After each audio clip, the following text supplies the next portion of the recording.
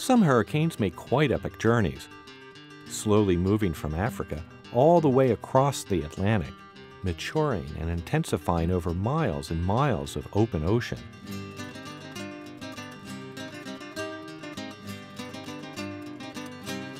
And as a now mighty hurricane nears the U.S., we ask what it is that steers a hurricane towards land, and moreover, what are the forces that weaken and eventually destroy them?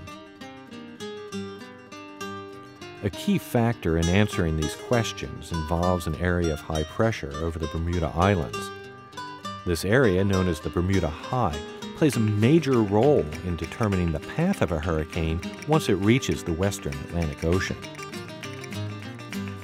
Some years, this area is small and hurricanes are steered north over the ocean. When this is the case, a hurricane generally weakens due to cooling sea surface temperatures and high wind shear. Such a hurricane may dissipate without ever actually making landfall.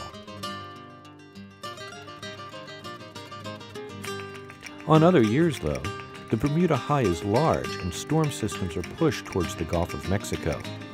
The hurricane picks up additional fuel from warm Caribbean waters before turning north and heading for land.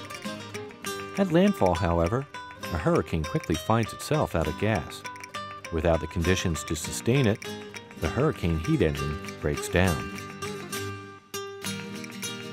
Yet with its demise imminent, a hurricane rarely goes quietly.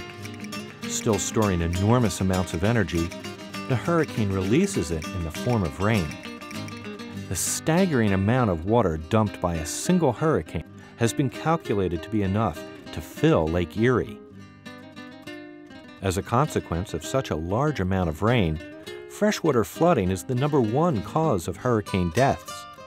Nevertheless, within days after making landfall, a hurricane finally meets its finish.